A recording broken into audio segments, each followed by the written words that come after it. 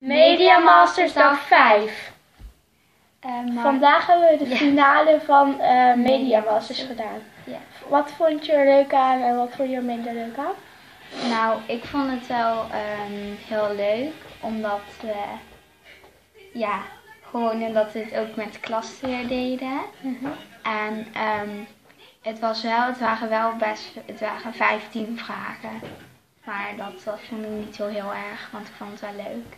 Ja, en we hebben ook best wel veel gepraat. Ja, en hadden we veel vragen goed?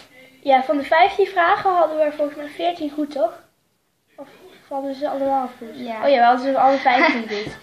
En En, ehm, het was ook wel fijn dat we al die jokers hadden, toch? Ja, want dat is wel fijn. Dan kun je de punten verdubbelen en Mhm. tijd erbij krijgen. Ja.